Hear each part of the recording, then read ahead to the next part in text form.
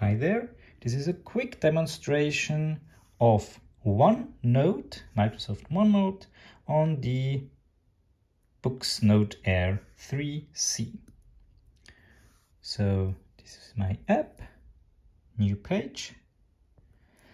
Uh, one of the problems I had is that the Android device um, yeah, is not too compatible uh, with a lot of things on the Apple on my MacBook, but OneNote works really, really great.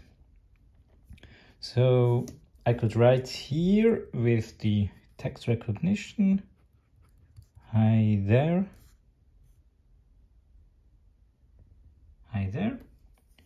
But uh, most of the time, of course, we would like to use this drawing function. So in general,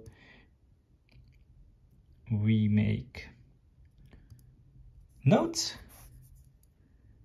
I make notes on my e-ink device and I want to see them on my desktop. So I have the Kaweco AL Sport pen, which works great for writing on the uh, in OneNote. I have a bit more problems with the Jumbo by Staedtler. Um, for some reason this is much thicker as you see. And also when I try to go down,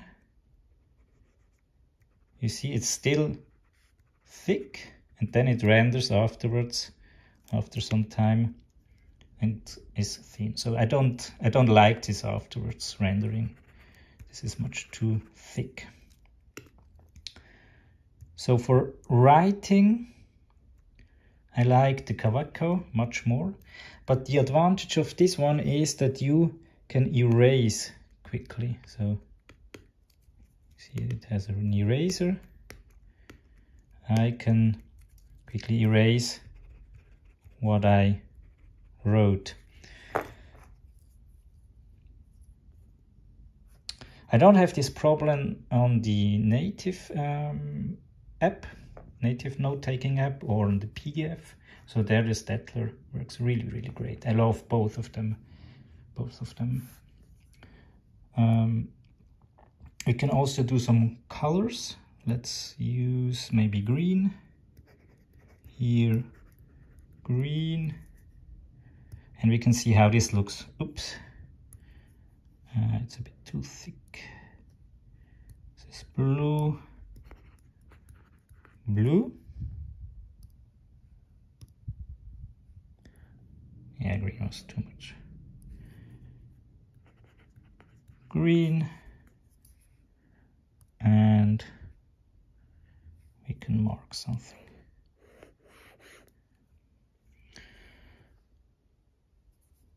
Okay, this is my note in the app.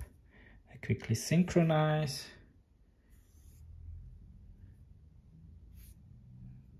I leave the app and now let's see what happens on my desk version. I'm here in the same quick notes folder and see if this one appears. Ta-da, it, here it is. So you see what I'm writing in black. This was 300 ppi on the tablet and this is awesome. I think so. The quality is so, so good. The colors, of course, are not exactly the same because on the e-ink device, um, it's a bit more washed out. So here you see how this would look, look like. About. But really, really a great experience. It works fine um, to write on the e-ink device and then see your notes on the desktop version or on your phone as well.